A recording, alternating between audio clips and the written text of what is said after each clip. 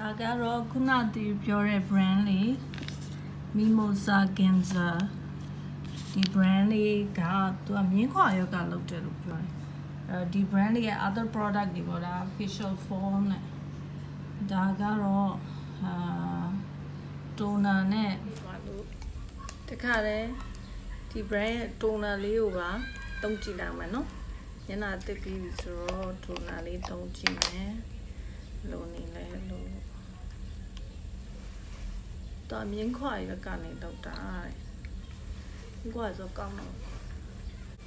တားရီကောင်းခြင်းမြင်းခွာရဲ့ဖြော်ရအောင်တောက်ပါလိမ့်တယ်တိုနာဆိုနည်းနည်းလို့ဒီ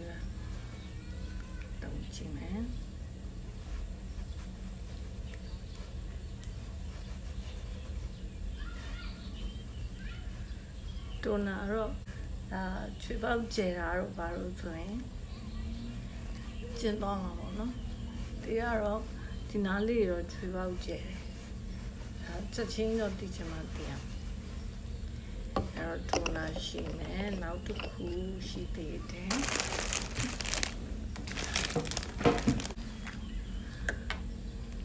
နောက်တစ်ခုရှိသေးတယ်ဒီဟာလေးကသူက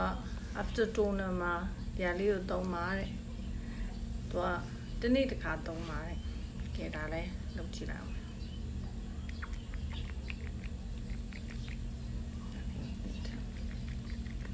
အဲ့ဒါမထွက်အာမထွက်လိုက်ဒီ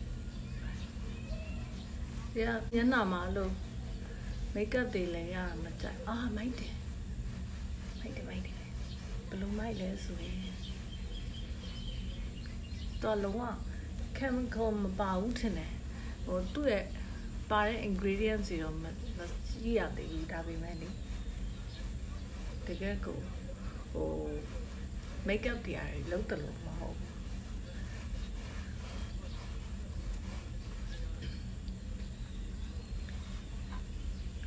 ကြည့်ပြီးအေးသွားတာပဲကဲဒါလေးလည်းမမေ့နဲ့နော်သွား trouble set ဆိုရင်ခုနပြောလို့၃မျိုးပါတယ်မျက်နှာတက်တာရယ်တိုနာရယ် ပြီးရင်ဒါတိုနာပြီးရင်လုပ်တဲ့ဟာအာဒီမှာဘာလို့တော့မရေးထားဘူးပေါ့နော်အဲ့တော့ direction to apply once a day တဲ့ဒီနေ့တစ်ခါသုံးပါဆိုတော့အဲ့ဒီကတော့အိမ်မှာနေမှာဖြစ်တဲ့အတွက် makeup တွေလည်းမလိမ့်တော့ဘူးကုန်ဖြစ်လိုက်ပြီး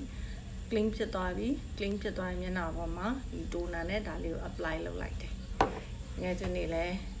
စမ်းသုံးကြည့်ပေါ့ကျေးဇူးပါ